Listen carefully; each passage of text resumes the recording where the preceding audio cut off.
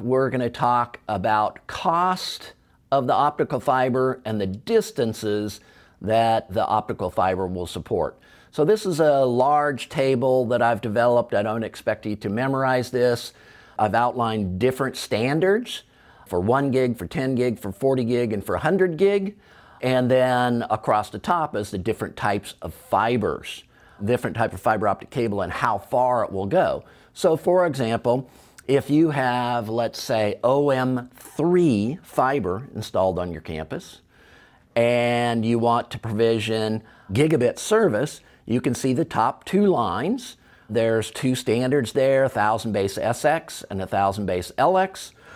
Both of those run one gigabit. You can see the cost of the optical interface. The LX is one and a half times the cost of SX. And then uh, with OM3, you can see it will support one kilometer using 1000 base SX optics. It will support 500 meters using 1000 base LX optics. Now, notice that most of these optics, they're either multi-mode or single mode. The 1000 base LX is one of the exceptions here, but if you do single mode, it will support 10 kilometers using 1000 base LX.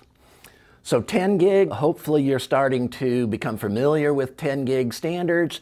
There's the two multi-mode standards, uh, 10G base SR and 10G base LRM. Uh, you can see the SR optics a little bit cheaper. It won't support long distances.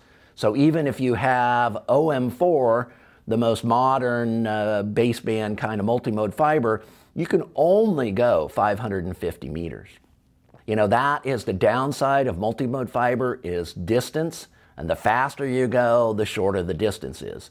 Now looking at the lower two, the 10G LR and the 10G ER, those are single mode only. You can see that they're only supported uh, with OS2. And again, they'll go 10 kilometers, or if you do the ER, it'll go uh, 40 kilometers.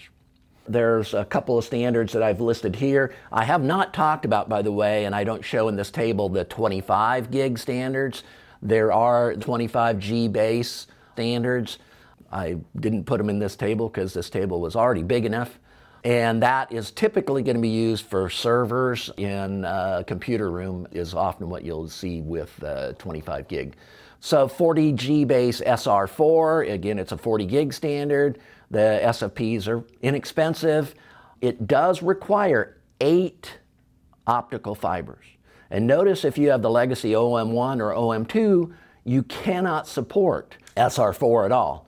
With OM3 fiber and OM4 fiber, indeed, that fiber will support the 40 gig, but for very, very limited distance. The 40G base LR4, quite a bit more money. It only requires two fibers and it goes 10 kilometers on single mode fiber. Similar kind of uh, thing with SR4 with 100 gig. So you have a 100 G base SR4, 100 bucks a piece.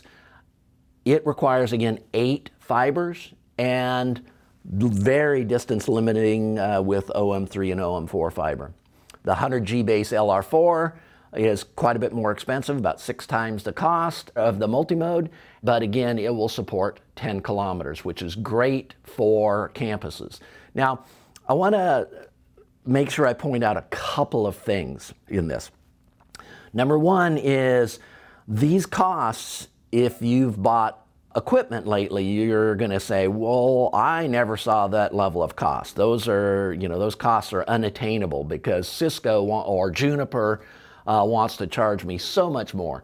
This is the cost uh, from an optical firm that we buy most of our optics from at the University of Oregon.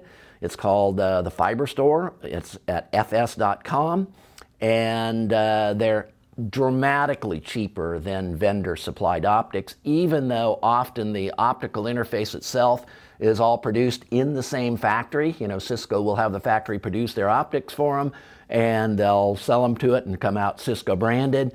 This is probably from the same factory. It has a special uh, magic code burnt into them that says that they're Cisco optics.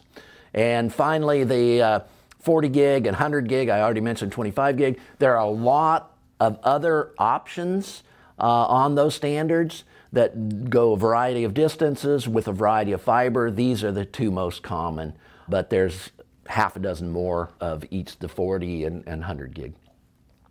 Now, we, we just took a look at what it costs and how far it went uh, for the optical interface.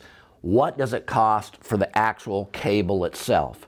So these are prices that I obtained in September of 2020, and uh, I've listed the cost per kilometer of the individual types. You can see that uh, OM1, a legacy fiber, is actually more expensive than the 50 micron OM2 legacy. It's somewhat more expensive, but the OM3 and OM4 fiber cables are dramatically more expensive than any of those. And finally, you see OS2 single mode at uh, $922 per kilometer, about a tenth the cost of OM4.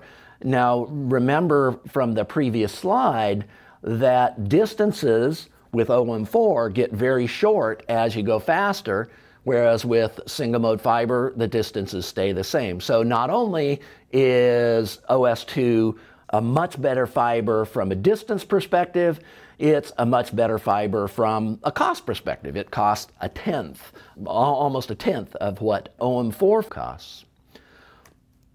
Single mode is clearly a winner in terms of cost, distance, and speed.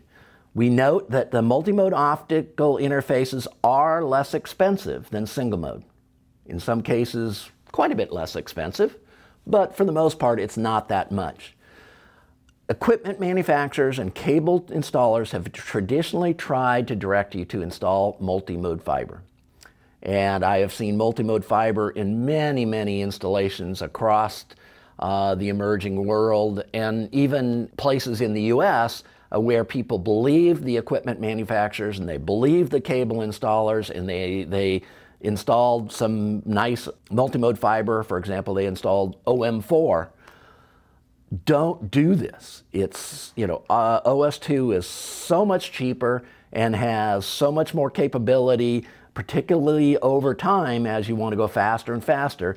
You want to choose single mode for virtually every application. I need to note that none of our examples that we're going to look at show the cost of the switch or router port to place the optical interface in. If you remember in my previous talk about fiber, I showed you a photo of uh, some equipment with the optical interfaces pushed into the equipment.